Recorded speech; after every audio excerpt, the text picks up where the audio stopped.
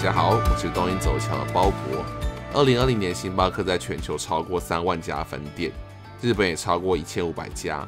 在这一千五百家星巴克当中，有几家不但有极佳的地理位置，本身的建筑绝对可以成为当地的地标。鲍勃这些就来介绍以星巴克为中心，包含店铺周边的景点介绍吧。镰仓玉成町店就是传说中店外有游泳池的那家星巴克。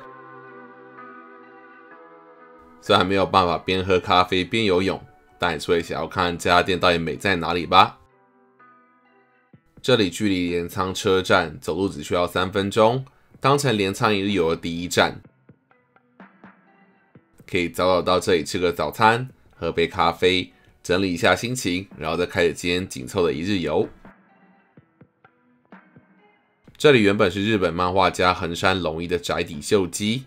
而星巴克就依照当时的母题所设计，外观看起来就像是一般的平房，虽低调但不会平庸。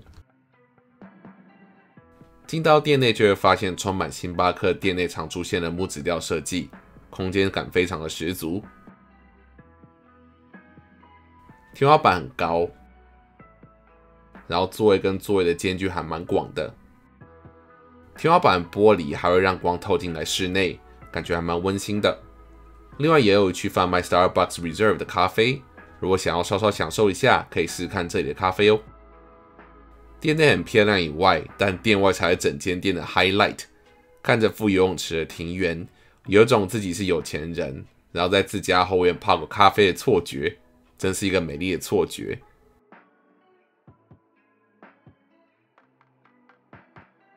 天气好的时候搭配阳光真的很棒，但下雨天的时候也有种浪漫的感觉。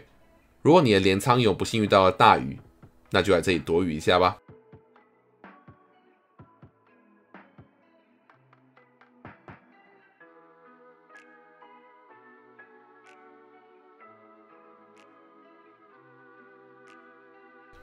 镰仓车站附近真的太多景点了，很难在一部影片介绍完。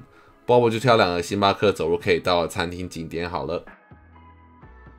如果你是日式甜点控，从星巴克走五分钟到甜点百名店茶房与母 Kia 来吃个日式甜点。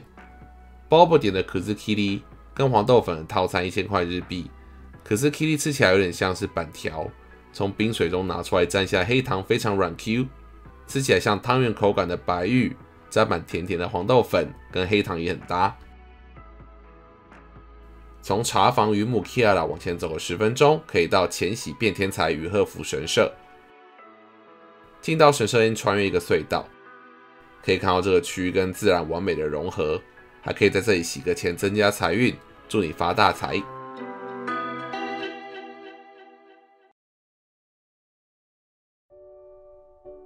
以上就是这次的介绍喽。如果喜欢我们的内容，还可以订阅、follow 我们的 YouTube、Facebook，还有 Instagram 看更多内容。